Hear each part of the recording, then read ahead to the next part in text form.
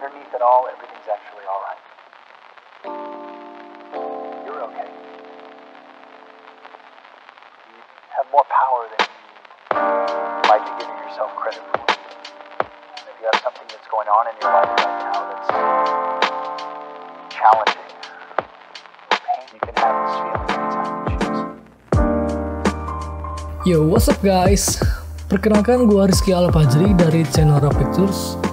Sebelumnya gue pernah bikin video tentang 5 daftar software terbaik yang digunakan dalam proses pembuatan CGI.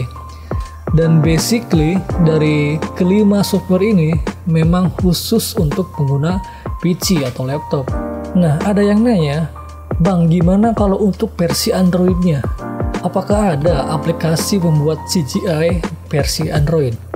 Nah, di video kali ini gue akan bahas sedetail dan sesingkat mungkin mengenai software CGI versi Android.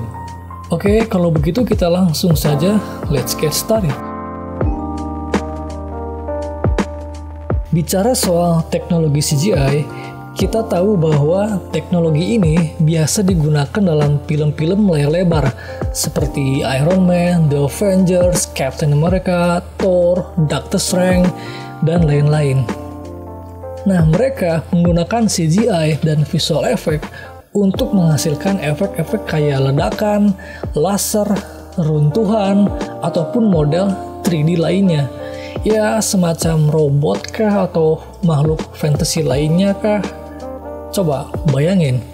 Nih, contoh nih, misal kita mau bikin film. Nah, di salah satu adegan atau scene, kita pengen ada salah satu adegan yang mengharuskan untuk meledakkan mobil ataupun mungkin misal kayak gedung. Nah, apakah kita sengaja beli mobil atau beli gedung hanya untuk diledakan satu scene, satu adegan dalam film. Coba bayangin berapa biaya yang harus dikeluarkan. Holy shit, man.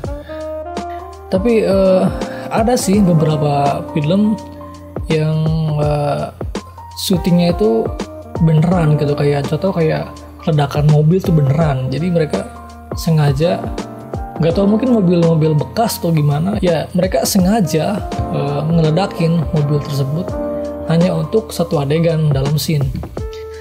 Nah berarti proyek film tersebut artinya gak murah gitu kan? Maksudnya ya cukup menguras budget gitu kan itulah alasan kenapa sampai detik ini kenapa software CGI itu berbayar. Uh, sorry. Ya emang berbayar sih. Cuman ya masih masih terbilang cukup mahal. Ya ada yang sekali bayar langsung full versi. Ada yang bulanan kayak dari Autodesk gitu kan. Dan ada juga yang gratis kayak Blender. Hah? Really? Ya gratis Blender emang software gratis gitu kan. Free lisensi atau free license. Jadi kalau kalian yang uh, pengen belajar gitu punya niat untuk memahami tentang basic 3D atau CGI ya gue saranin kalian pilih Blender. Karena uh, hanya satu alasan. Gratis. Gak serius bener. Blender gak hanya software gratis tapi menurut gue pribadi dia itu paket komplit sih. Dia udah lengkap terus open source uh, ditambah juga banyak tutorial di YouTube. Jadi kalian yang merasa newbie ya noob atau apa istilahnya kalian bisa belajar secara otodidak. Karena memang untuk tutorial Blender itu cukup banyak di internet ya. Kalian bisa cari atau searching sendiri gitu kan Oke, okay, back to the topic sekarang kita tahu bahwa software CGI itu nggak murah. Terus kita mau bandingin apakah ada aplikasi CGI versi Android. Dengan sangat-sangat-sangat terpaksa, gue akan jawab nggak ada. Kenapa? Ya, lu tahu sendiri gitu kan. Bahkan untuk membeli lisensi softwarenya pun itu cukup mahal, bro. Mahal banget terus kalian mau berharap ada aplikasi pembuat CGI di Android maksudnya ada di Play Store gitu kan jangan harap bro Oke, udah gua jawab. Artinya nggak ada. Dalam kurung untuk komersial use. Gimana kalau untuk personal? Maksudnya kayak ya just for fun maybe sekedar iseng-iseng doang gitu kan. Kali ini gua akan jawab ya ada. Apa aja softwarenya? Kali ini gua udah rangkum yaitu cuma dua. Prisma 3D sama FX Guru dari kedua aplikasi ini memang mempunyai fungsi masing-masing. Contoh kayak Prisma 3D, dia basically untuk modeling ya, modeling 3D. Terus ada texturing sama animation.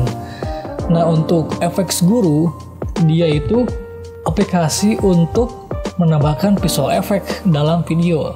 Maksudnya kayak nambahin elemen 3D ke dalam video footage lu. Untuk kedua aplikasi ini, kalian bisa dapetin secara gratis di Play Store tinggal download aja Prisma 3D sama FX Guru dan untuk ukuran filenya tuh juga nggak terlalu besar sih mungkin kisaran 40 sampai 80 MB lah masih di bawah 100 Yap, mungkin hanya itu yang dapat gue sampaikan di video kali ini. Jangan lupa like, comment, dan subscribe. Kalau perlu, nyalakan lonceng notifikasi untuk mendapatkan video updatean terbaru yang akan gue upload. Gue Rizky Alpajri, and see you next time.